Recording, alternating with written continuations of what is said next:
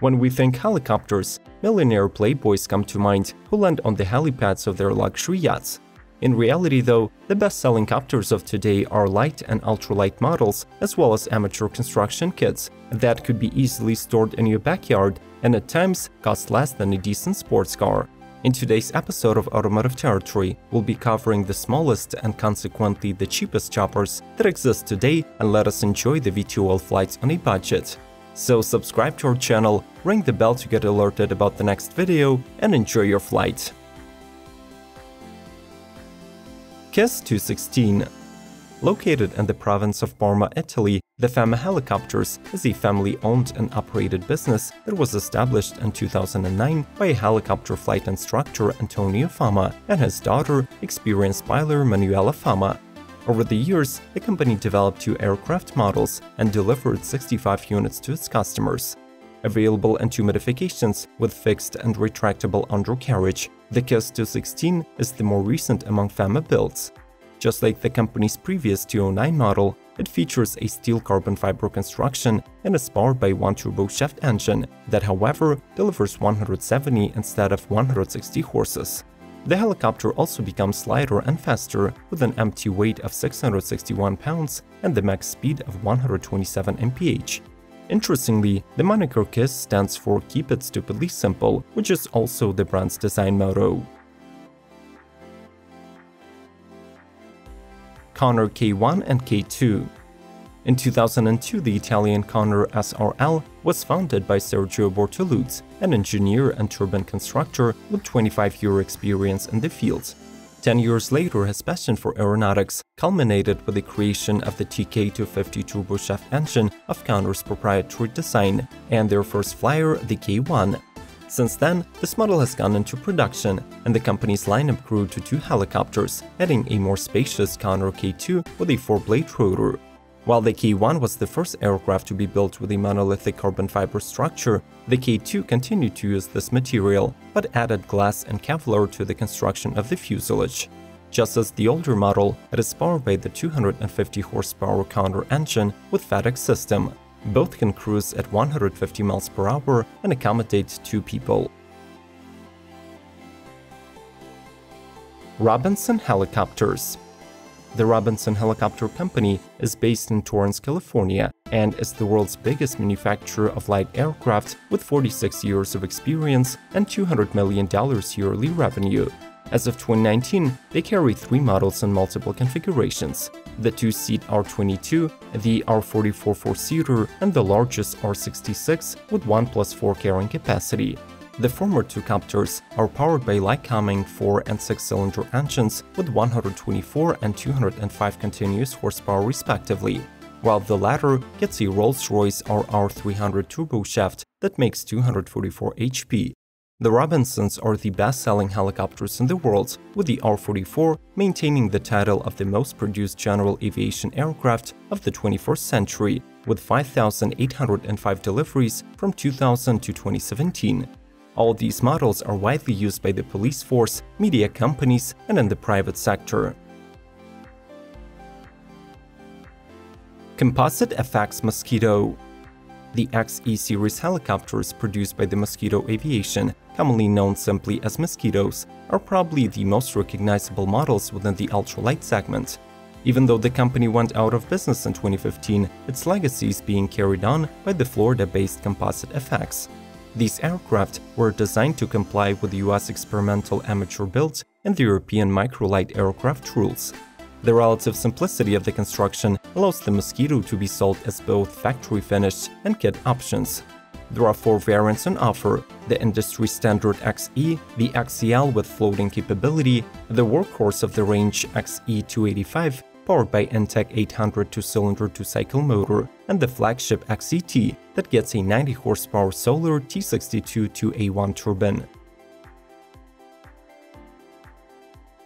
Dynali H3 Sport Founded in 1980, the Belgian Dynali started out as a fixed-wing ultralight aircraft builder, but due to the wide availability and affordability of carbon fiber, since 2010 they primarily focused on the production of the H3 Easy Flyer Sport Copter. It was designed for flight training, utility, and personal use. with the majority of units being sold in France and South Korea. This is a single-rotor aircraft with two seats and side-by-side -side configuration and an enclosed cockpit with a bubble canopy. The Dynali's gross weight reaches 992 pounds, or 450 kilos, still placing it within the French Class 6 microlight category. This helicopter is powered by a standard liquid-cooled 4-stroke Rotax flat 4 engine, but there are three additional modifications of this power plant, with power ranging from 100 horses and up to 135 for the turbocharged version. Rotorway A600 The Arizonian Rotorway helicopter kit manufacturer is one of the largest, most well-known brands in this industry that has been making helicopters since 1961. In 2011, the company introduced the A600 kit that succeeded the Exec family and as of today is the only model produced by the Rotorway. Designed for amateur builders, the A600 comes with all the necessary blueprints and construction materials included. All of its components such as engine and rotor system, airframe and tail boom arrive factory assembled and fully functional to make sure you will have no problem building the aircraft. The customers can choose between two company-built engine options, a 147 horsepower RI600N or a turbo RH600T, making 168 horses. To make the payment and assembly easier, the A600 is supplied in four equipment groups. Did I miss some of the smallest and cheapest helicopters in today's market, or maybe you have something else to add?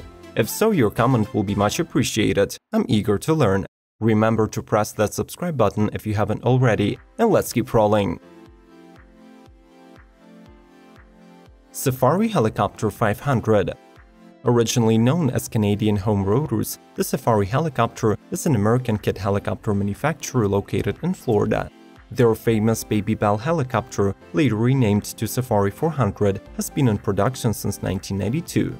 In 2017, the company introduced a new generation Safari 500, Though it features the previous well-proven engine and drivetrain components, the 500 boasts a faster cruise speed due to the better aerodynamic design and a new fuselage. With these updates, the standard 180 horsepower engine also offers greater endurance, though the exact numbers are yet to be revealed.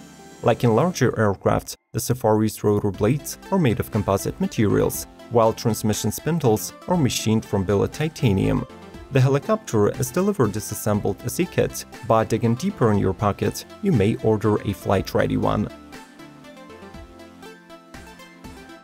Rotor Schmied VA-115 In 2018, the German Rotor Schmied, owned by the Chinese DA General Aviation Group, announced that it has received a permit to fly for its latest development, the ultralight VA-115 helicopter, which is the first aircraft of its class approved in Germany.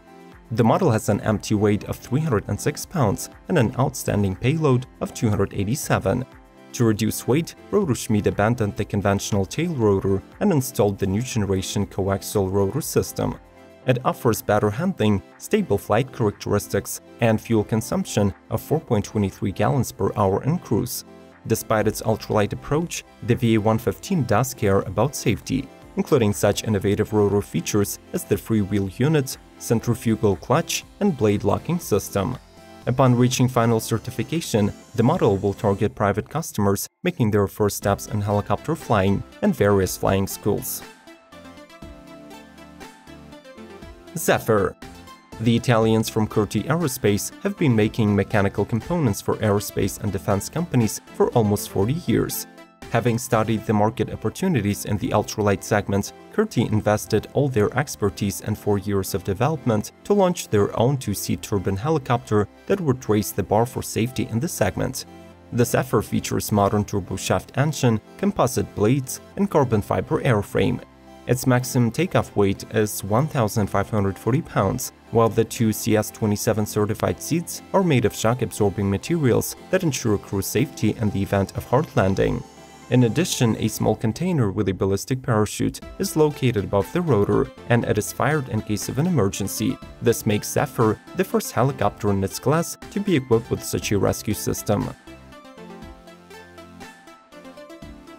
Hungarocopter This bare-bones flyer was developed by Zoltan Szuchacz, the lead engineer at the Hungarian company Hungarocopter Limited. Sold as a kit for amateur construction, it complies with European microlight aircraft rules and counts as a single-seat enclosed cockpit or an open cockpit without a windshield. Since it is a low-budget build, the fuselage is made of steel tubing, hence the typical empty weight of 661 pounds.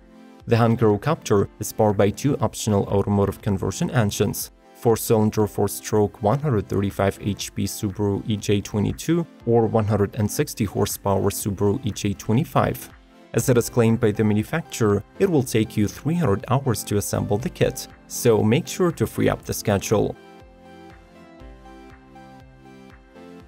Volocopter Velocity Being fans of electric propulsion, we could not resist including a fully electric model into this list.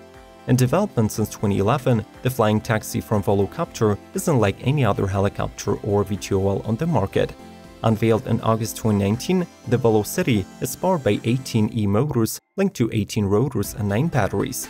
The company says this model will be capable of carrying two passengers with their hand luggage, reaching the maximum speed of 68 miles per hour. Its maximum range, however, still remains rather modest, around 22 miles on a charge, so the Velocity is primarily aimed to serve as an inner-city air taxi. We should also mention that the company is working on building a hub system for their VTOLs called Voloport in cooperation with the British Skyports vertiport operator. Do you agree that some of these helicopters can indeed be considered affordable for an average person who's passionate about flying? Are they worth the money? Share your opinion in the comments below like this video, subscribe to Automotive Territory, and proceed to watching other videos within the aviation or cars topic. We cover everything motorized. May the torque be with you!